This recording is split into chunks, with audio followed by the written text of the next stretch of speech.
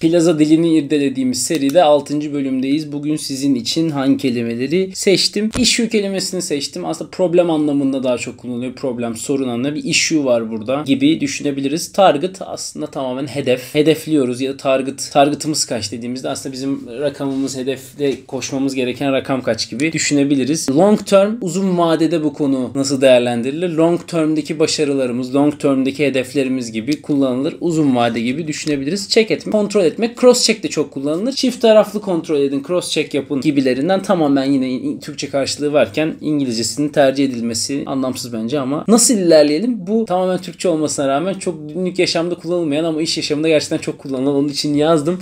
Hep nasıl ilerleyelim? Bu konuda nasıl ilerliyor olalım şeklinde de karşımıza çıkar. Yine ben bu konuyu yazmak istedim. Headquarter şirketin merkezleri nerede? Headquarter bu anlamda kullanılır. Headquarter'ımız İstanbul'da, Dubai'de. Şurada şurada da başka lokasyonlarımız var dendiğinde aslında diğer lokasyonlar o headquarter'a bağlı raporluyor gibi bir mantıkla düşünebilirsiniz. Türkiye'de 40 tane şubesi vardır ama headquarter Ankara'dadır. Merkez Ankara'dadır gibi düşünebiliriz. Headcount, headcount da o ekipteki, o şirketteki, o headquarter'daki belki az önce söylediğim gibi çalışan kişi sayısı, bordrodaki kişi sayısı, kafa sayısı, headcount zaten kafa saymak gibi düşünebilirsiniz. Kafa sayısı gibi düşünebilirsiniz.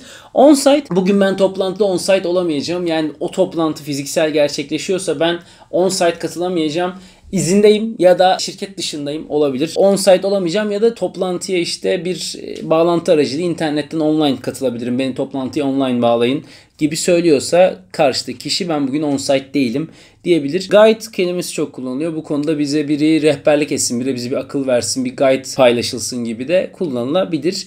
7. bölümde de yine böyle kelimelerle devam edeceğiz.